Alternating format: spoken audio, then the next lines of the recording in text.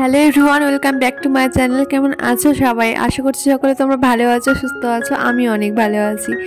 আজকে হচ্ছে সোমবার, আর সোমবারে এখন ঘড়ির কাটায় বাজে কিন্তু এই বিকেলে সাড়ে চারটা থেকে পাঁচটা মতন। তো মানে বিকেলবেলা একটু শুয়েছিলাম, অহনকে ঘুম পাড়িয়ে আমি একটু শুয়ে থাকি। এডিটিংয়ের কাজ থাকে বা হয়তো বা এমনিও শুয়ে থাকি, কোনো সময় মানে ঘুমিয়ে যায় না, কিন্তু ফোনটা একটু ঘাটি হয়তো শুয়ে থাকি। তো শুয়ে থাকার পরে উঠলাম, উঠে যে সমস্ত কাপড় চোপড় ছিল সেগুলো তুললাম, তুলে যেগুলো ভেজা সেগুলো মেলে দিচ্ছি আর যেগুলো শুকিয়ে গেছে সেগুলো তো দেখলেই ইয়ের উপরে রেখে দিলাম, চেয়ারের উপরে। তো বিকেলে যে সমস্ত কাজ আছে সেগুলো শুরু করব। আজকে, আশা করছি তোমাদের আজকের ব্লগটা ভীষণ ভালো লাগবে। তো প্লিজ তোমরা স্কিপ না করে দেখতে থাকো। তো বিকেলে কি করেছে বলো তো? তখন সকালবেলা মুড়ি খেয়েছিল, সেটা মুড়িগুলো পড়ে এরকম হয়ে আছে। তো সেটা আর ঝাড় দেওয়া হয়নি। ভাবলাম যখন বিকেলবেলা ঝাড় দেবো, তখনই একদম গুছিয়ে নেব। এখন ঘর টরগুলো ঝাড় দিয়ে নিচ্ছি, তারপরে বিকেলে যে সমস্ত কাজ থাকে তোমাদের সাথে সেগুলো শেয়ার করব আজকে। তো কীভাবে আজকে আমি এই সময়টা কাটাই? মানে বিকেল থেকে রাত পর্যন্ত, তো সেটাই তোমাদের সাথে শেয়ার করব। তো চলো দেখতে থাকো।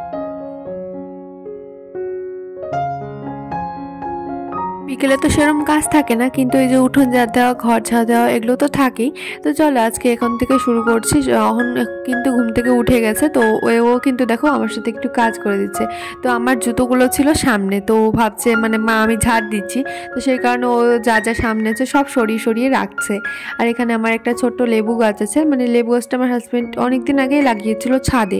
তো ছাদে তো সেরকমভাবে টবের মধ্যে বড় হতে পারছিল না, তো আমি বললাম যে নিচে লাগিয়ে দাও, তাহলে ভালো হবে। হবে। তো এখন নিচে লাগিয়ে দিয়েছি, খুব সুন্দর হচ্ছে। তো ওর মধ্যে একটু সার টার দিলাম, জল দিলাম। আর এখন দেখতে দেখতে কিন্তু সন্ধ্যাও লেগে গেল আর বিকেলবেলা একটু ঘুরতেও গেছিলাম। মানে বাড়ির সামনে একটু গিয়ে দাঁড়ায় সবাই আসে, গল্প টল্প হয়। তো সন্ধে লেগে গেছে, সব ঘরে লাইট জ্বালিয়ে দিলাম আর পর্দাগুলো টেনে দিচ্ছি। আমার দেখে দেখে দেখো অহনতে কিন্তু ওই জানলার পর্দাটা টেনে দিচ্ছে। তো এইভাবে কাজগুলো করে আমার সাথে সাথে। ও তো ছোট, যা দেখে তাই শিখে যায়। আর এখানে দেখো সন্ধেও কিন্তু লেগে গেছে, সন্ধেবেলা দৌড়ে দৌড়ে জল দিয়ে দিচ্ছি। আর বাইরে দৌড়ে কিন্তু জল দিয়ে এসি তো আমি যেহেতু আজকে মানে ভেতর থেকে শ্যুট করলাম, তো সে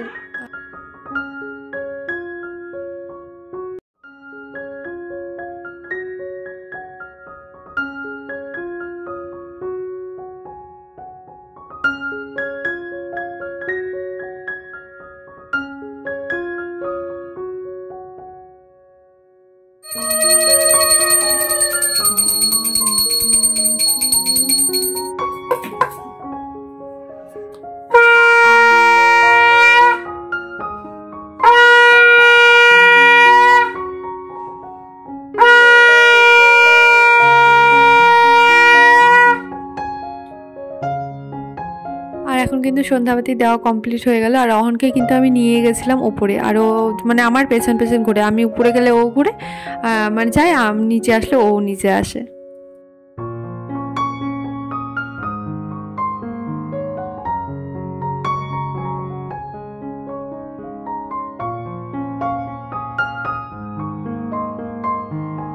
সন্ধে দিয়ে ভাবলাম যে একটু কিছু খাওয়া যাক। কখন আর আমি দুজন মিলে দেখো খাচ্ছি। এখানে কি বলতো, এটা মুড়ি মুড়ি আছে। মুড়ি না কিন্তু এটা হ্যাঁ?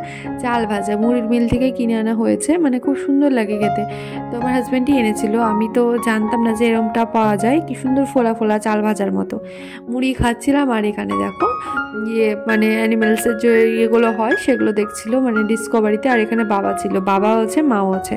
তো সবাই মিলে বসে বসে দেখছিলাম আর আমার হাজব্যান্ড এইমাত্র আসলো। তো এসে আমি ভাবলাম ওদেরকে সবাইকে একটু চা করে দিই। অনেকক্ষণ ধরে বসে আছে, আমি সন্ধ্যা দিলাম। তারপর আমার ভিডিও এডিটের কাজ থাকে, আমার সন্ধ্যাবেলাটা ভীষণ চাপের থাকে। মানে ভিডিও দিতে হয় তো, সন্ধ্যাবেলায় দিই যেহেতু ছটার দিকে।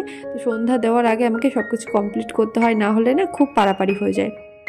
তো যাই হোক, এই যে এখন চাও করে নিচ্ছি সবার জন্য। একদম দুধ দিয়ে আজকে করছি। যেহেতু কালকে দুধ দিয়ে গেছিল, দুধটা খাইনি, তো সেই জন্য ভাবলাম দুধগুলো যখন আছে তো চাটা করে দিই।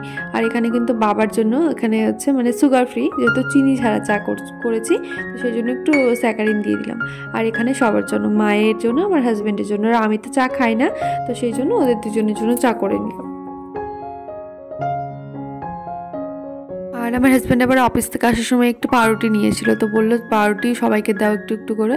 তো সেই জন্য ওদেরকেও দিয়ে দিচ্ছি আর আমার জন্য নিজের জন্য একটু দুধ গরম করব। যেহেতু আমি চা খাই না, তো সেই জন্য ভাবলাম না সবাই খাচ্ছে আর সবাই বলছিল যে তুই কিছু খা। মানে সন্ধ্যাবেলা তো কিছু মানে না খেলে পরে ধর একদম রাত্রেবেলা ভাত খাওয়া হয়, তো সেই জন্য অতটা সময় না খেয়ে থাকাটাও ঠিক না। তো সেই জন্য ভাবলাম আমি একটু দুধ খাই আর মাকে বললাম, মা, তুমি একটু দুধ খাও। তো মা চা খাওয়ার পরে আবার মাকে একটু দুধ দিলাম। ওই যে মা দেখো শুয়ে আছে তো এখন সবাই মিলে একটু টিভি দেখব, একটু সময় কাটাবো। তো আর অহনের শরীরটা ভীষণ খারাপ। সর্দি, কাশি আর কাশতে কাশতে রাত্রের বেলা ঘুমোতেও পারছে না, খুব শরীর খারাপ। তো সেই জন্য আর কি মানে ওকে দুদিন হলো পড়তে বসাচ্ছি না মানে কিছুতেই পড়তে বসতে চাইছে না। আর আজকে হচ্ছে মাসের কয় তারিখ? চার তারিখ না পাঁচ তারিখ ছিল। তো সেই জন্য দেখো আমার মাসের যে সমস্ত গ্রসারি শপিংগুলো করেছিল, আমার হাজব্যান্ড করে নিয়ে আসে। আমিও যাই কোনো কোনো দিন। তো এর আগের দিন নিয়ে এসেছিল, তো সেগুলো আর তোলা হয়নি। তো ভালো আজকে একদম তোলা যাক। অহন বারবার বলছে, কখন তুলবা? যেহেতু ওর মধ্যে শনপাপড়ি থাকে মানে শনপাপড়ির প্যাকেটও আনে যখন মাছের বাজার করে। তো সেই জন্য, ও হচ্ছে ওটা খাওয়ার জন্য ব্যস্ত হয়ে গেছে। তো আমার যাক, ওকে তুলেও মানে সব সব কিছু তুলেও রাখি আর ওকেও দিই তাড়াতাড়ি।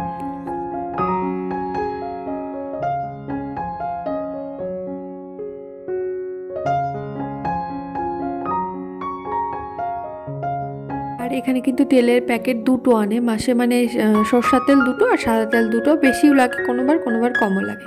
তো যেহেতু সর্ষার তেলগুলো কৌটোর মধ্যে ঢুল মানে ঢালতে হয় আর কি না হলে দেখো কোনো সময় যদি হঠাৎ করে লাগে, তখন তো আর প্যাকেট থেকে তাড়াতাড়ি করে খুলে নেওয়া যায় না। তো সেই জন্য ওখান থেকে কিন্তু আমি খুলে নিলাম।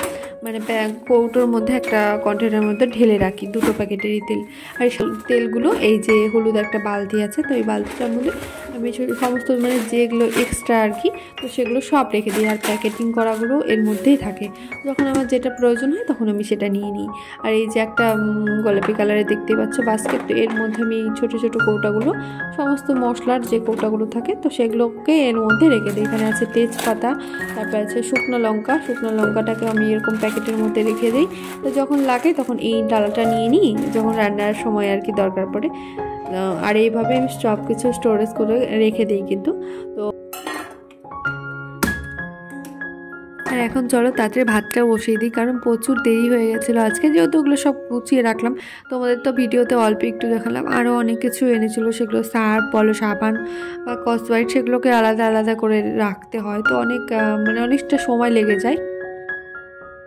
আর আজকে যেহেতু সোমবার, তো সেই কারণে নিরামিষ রান্নাবাড়ি হয়েছিল, তো সকালেও। তো সেই সকালের তরকারি তো অতটা থাকে না, তো সেই জন্য ভাবলাম আলুটা সেদ্ধ দিই। আলু সেদ্ধ দিয়ে একটু আলু, বড়ি দিয়ে যে লঙ্কা চিড়ে ঝোলটা হয়, সেটা আমার ভীষণ ভালো লাগে খেতে। মানে আমার মা আগে করতো, কিন্তু এই বাড়িতে আসার পর অতটাও খাওয়া হয় না। তো ভাবলাম আজকে আমি করি মানে আমার জন্য শুধু আমার হাজব্যান্ড অতটা খায় না। ও বলি, না, লঙ্কা টঙ্কা খাই না, কিন্তু আজকে লঙ্কা চিড়ে করব বললাম তো সেই জন্য। ও বলল, তাহলে আমাকে একটু দিও, কিন্তু বেশি খাইনি, অল্প একটু খেয়েছে। তো ওই জন্য আমি দেখো দুটো আলু দিলাম, আর এখানে এই যে বড়ি, চার পাঁচটা মতন আছে, আমার বড়িটা খুব ভালো লাগে খেতে। আর এই ঝোল দিয়ে তো, বড়ি দিয়ে তো ভীষণ ভালো লাগে, টমেটো দিয়ে একটু টক টক লাগে তো। আর এখানে দুটো লঙ্কা দিয়ে দিল, দিয়ে দিলাম, দেখলে, আর ভাত কিন্তু হয়ে গেছে। ভাতের থেকে আলুগুলো বের করে নিয়ে, এই যে একটা পাতলা মতন তরকারি করে নিলাম। ভীষণ টেস্টি হয়েছিল। খেতে কি বলব? এখন দেখেই জিভে জল চলে আসছে। খাওয়া দাওয়া করে মুখ ধুয়ে চলে আসলাম কিন্তু আমি এখন চুলটাকে বাঁধতে। কারণ চুলটা না রাতে না বাঁধলে একদম গড়াগড়ি করে। যেহেতু অনকে নিয়ে থাকতে হয়, অহন একবার এদিকে যায় রাতে, একবার ওদিকে যায়। জানো না কি বিরক্ত করে রাত্রিবেলা। তো যাই হোক এরকম করে চুলটা না বেঁধে লাগলে না একটু নোংরা নোংরা লাগে।